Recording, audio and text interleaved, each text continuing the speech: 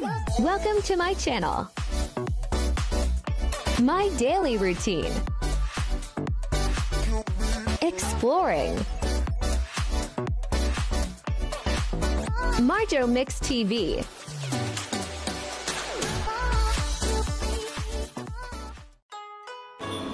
So, ito na nga guys, yung karugtong ng una kong video dito sa Daan Park. Ayan. Si Marjo, pangiti-ngiti lang muna. Ngiting hilaw kasi masakit ang ipin. Pero gumala pa din. Ayan, no, pa-slow-slow muna tayo per kay. So, ayan na guys, mula sa tulad ng sinabi ko sa nakaraang video, maraming tao dyan kasi na Sunday. It's Sunday day, araw ng mga uh, oldest, gala-gala, walking-walking, kasi yan nga ang exercise nila. Pero ako, dahil kabubunot lang, uh, wala muna tayong uh, ngiti-ngiti dyan. Iniinda pa ang uh, kabubunot na ipin. Ayan, ngiting hilaw muna si Marjo dyan. Pasulyap-sulyap. Lingon sa kalibela, lingon sa kanan, lingon sa kaliwa. Ayan, ganyan lang muna si Marjo, guys. Pasensya na kayo. Magbo-voice over lang muna si Marjo. Ayan, papakita ko lang sa inyo, guys, yung mga halaman, bulaklak. Ayan. Sari-saring halaman na namumulaklak. Basta halaman na namumulaklak yun na yun guys. Hindi ko alam kung anong mga pangalan. Kayo na mag ano, kayo na mag-analyze ng mga bulaklak kung anong mga pangalan. So, ayan guys. Ganyan lang muna si Marjo. Pa video-video lang muna. Wala lang muna ang daldal. Kasi nga, alam nyo na, bagong bunot ang ipi ni Marjo medyo kumikirot-kirot pa konti yan guys kasi as in bagong bunot lang talaga. Siguro wala pang wala pang 30 minutes nandiyan na ako. After ko na bunutan ng ipin. Ayan so ayan marami ding uh, mga kunyang katulad ko na gumagala dyan. Yung iba meron mga alagang dala. So siguro hindi nila day off pero na kakasama nila yung kanilang mga alaga sa park. Kasi nga park yan eh. Daan Park. Ayan, may dalawang ano, may dalawang gansa nagtutukaan. Ayan, pag ganyan ganyan, ngiting hilaw muna si Marjo. Wala mo nang ano, bawal mo na lumabas ang ipin. Ayan, kasi naka ano pa yan eh, nakangat-ngat pa yung ipin ko sa goose na nakasalpak sa nabunutan kong ipin. So, ganyan lang guys si Marjo. Uh, ngiting-ngiting hilaw muna. Ayan. Nagsalita pero ano lang siya, yung ano sa amin yung tawag, kutib-kutib. Parang binubulong lang sa sarili yung sinasabi. Ayan, malamig yan ang time na yan guys. Sobrang lamig talaga kaya nakasuot ako ng sweater tsaka naka-close knit ako. Pero malamig pa rin guys yung hangin na umaano sa mukha ko. Humahampas sa mukha ko. Malamig pa din.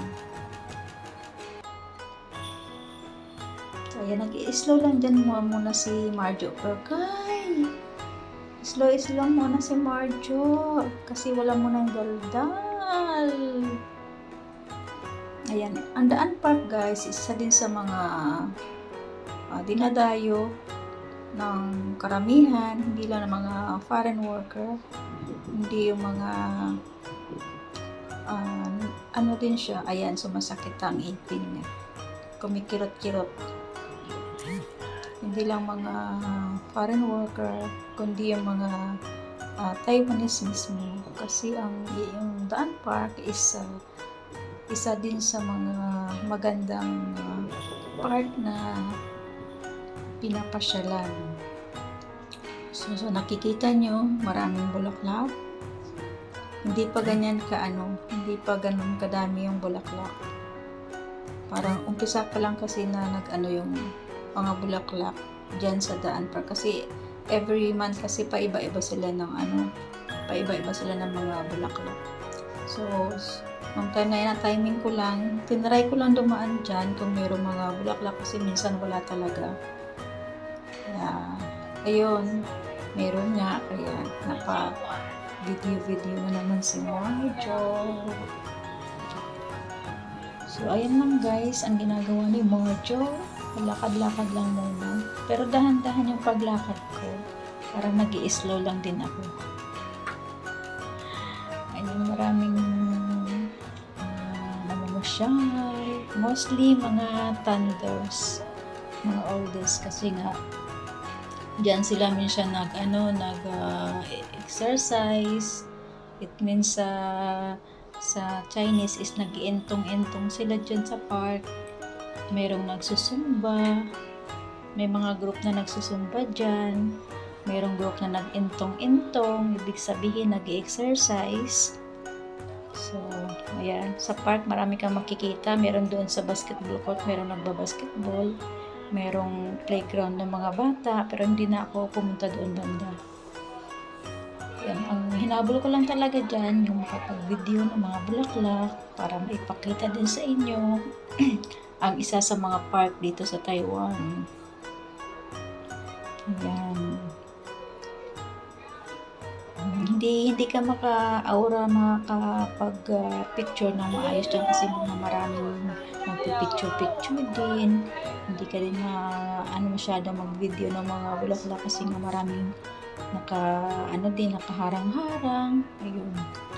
Kaya ganyan lang. Ganyan ganyan lang muna tapos yung mga pa-video-video ko pa ano lang 5 minutes, 6 minutes, 10 minutes mga ganun hindi ko talaga siya matagal na pag-video kasi nga maraming nagpipicture-picture din so hindi lang naman ako ang tao maraming tao so ganyan ganyan lang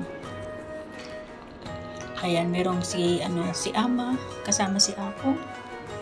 Ayun, ayun si Ama nakaupo sa wheelchair. Tulak-tulak ni Ako. Akong it means lolo. Ama is lola. Pero minsan ang tawag nila sa sa lolo lola is nay-nay lola tapos yeye lolo. Depende sa lingwahe nila. Siguro yung yeye tsaka nay-nay is uh, from China or Taiki, yung mga ano nila, yung mga kanununuan nila, mga Chinese. Pero mostly ang tinatawag ay ano, ama, ama, akong. Ayan, si lolo, si lola. So ayan na nga guys, nandyan na ako sa may malaking banga. Ayan, maganda yung ano nila, bulaklak nila. Marami silang mga bulaklak. Ayan, iba-ibang variety. Ayan, kaya ayan, sun, ay sunflower. May sunflower din sila. Oh, di ba? Ayun, ah, banga na malaki, nakatuwad. Nakatuwad ang banga. So, ayan guys, hindi ako nakapag, uh, ano masyado dyan. Konti lang picture ko dyan guys, mostly video ako. So, ayan na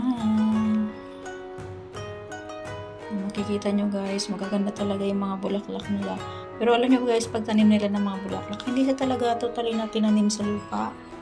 Meron pa silang mga, alam mo yung mga, alam nyo yung plastic na itim, nalagayan talaga ng kung nagpupunla ka ng mga halaman, mga tanim. Yun lang guys, tapos pinagsama-sama lang nila, pinagdikit-dikit. Tapos pag na ano na siya guys, medyo lanta na siya, kukunin na lang nila. Tapos papalitan ulit ng panibago hindi talaga sila nag yung inaano talaga ni binabaon nila sa lupa hindi tapos pag nagsasa napapansin nakikita mo guys merong mga ano ng palay ano ba yung tawag sa atin hindi siya dayami yung yung tinanggalan na ng balat ng palay yan sa ilalim ng puno na yan andyan niya nila nilagay para yung mga halaman ayun tignan mo yung, yung, yung dilaw na yun guys ayun yung merong ano, merong kalapati. Ayan. Yan ang sinasabi ko na balat ng palay. Ilalagay nila yan sa paligid ng bulaklak. So, ayan. Ang kalapati, sarap na sarap sa pagtuka-tuka. So, ayan na nga guys. Ang gaganda ng mga bulaklak nila guys in fairness. Ayan. Sa atin, para sa, sa mga park, wala tayong makikita mga magagandang bulaklak kasi pag nilagyan ng bulaklak, ninanakaw. Diba? So, pero dito, meron silang ano, boundary halimbawa, meron sila lagyan nila ng tali. Hindi ka pwedeng mag-apak dyan. Hanggang dito ka na lang o hanggang dyan ka lang, hindi ka pwedeng pumasok sa ganito. Hindi ka mag-over the bakod. Tsaka guys, bawal pitasin ang mga bulaklak dyan. Meron talagang nakasulat na bawal pitasin. Ayan. Hanggang picture-picture ka lang, video-video, pero bawal pitasin. Kasi lahat ng mga corner dyan may, may ano, may meron siyang CCTV. Tsaka kahit na yung tao mismo makikita ka, ano yung kanila, sasawayin kanila na bawal magpitas. So, ayan guys, yung building dyan, yan dyan, malaking building sa tabihan ng ano, ng MRT station na. Kasi yung park guys, dyan lang yan sa bungad ng ano, pagkalabas mo ng MRT, park na agad. Kaya hindi siya mahirap yan. Ayan, pinaikot-ikot ko muna yung video ko dyan sa sa part na yan. Kasi punta ako dun sa dulo. Ayun, dun sa dulo guys, maganda din ang mga bulaklak doon. Yan ang sa next video ko. Yung sa du- dulo na part naman ng ano, park. So, ayan, paikot-ikot muna ako dyan guys. Kasi papunta na ako dyan sa ah, kabilang ano, dun sa kabilang side, papunta sa dulo. Andoon guys, malaki, marami yung bulaklak doon. Ayan, ang CR. Gusto nyong umihi, mag-CR dyan kayo, mag-CCR. Ayan, tingnan nyo guys, for mga oldies ang makikita nyo dyan.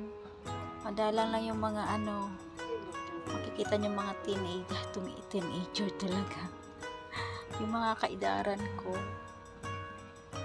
At kung may makikita man kayo, mostly mga kuniyang. Pero yung mga ano Taiwanese, puro mga middle age. Ayan guys, tignan nyo guys, ang gaganda talaga ng mga bulaklak guys.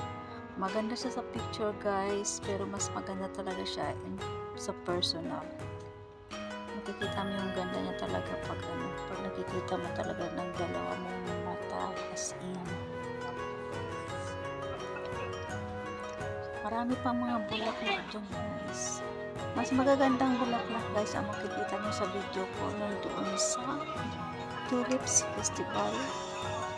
Sa last na pinuntahan ko. Ang gaganda talaga ng mga bulaklak guys. Mas maganda pa dyan ang mga bulaklak guys. Tsaka yung park nila guys, ang laki. Ang lawak. At techno. Malinis. Tulad ng sinabi ko noon, sa mga nakaraang video, yung mga gilid-gilid ng mga kalsada nila, mga sidewalk-sidewalk, malinis. Diba? Pati yung park, as in meron talagang everyday, every morning, afternoon, meron talagang nagwawalis, naglilinis. Kahit may mga ano na sila guys, kahit may mga sa atin siguro mga senior na sila, pero kaya pa naman magtrabaho. Ayan. Tatrabaho sila guys. Kasi nga, binibigyan sila ng ano, ng government ng Taiwan ng trabaho. So, yun na nga guys. Ah, nagpapasalamat ako ulit sa inyong lahat sa walang sawang pagsuporta sa aking channel, sa aking mga team. Siyempre, Team Manwit, Ligo Nation, Team Kapamilya, Siyempre, Team Paangat, at sa aking mga member, thank you, thank you so much sa pagmamahal at suporta ninyo kay Mojo.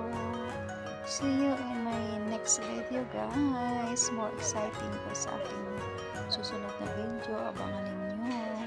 Maraming maraming salamat sa inyong lahat. Hindi ko na kayo isa-isahin. See you in the next video. Bye-bye. Don't forget to like, share, and subscribe to my channel.